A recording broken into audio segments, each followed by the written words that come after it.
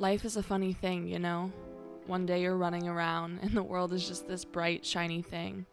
And then, almost unnoticeably, the facade comes crashing down and you're left with the ruins around you.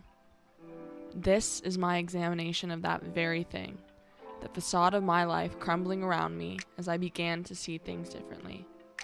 Suddenly, the world came into focus, and the intersection of race, politics, and sport in the context of my life experience was wholly reimagined in a way that moved me forward towards progress, towards understanding, towards justice.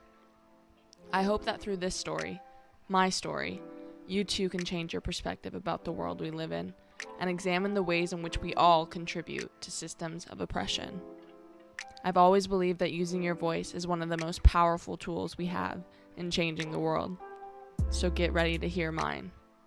Unfiltered.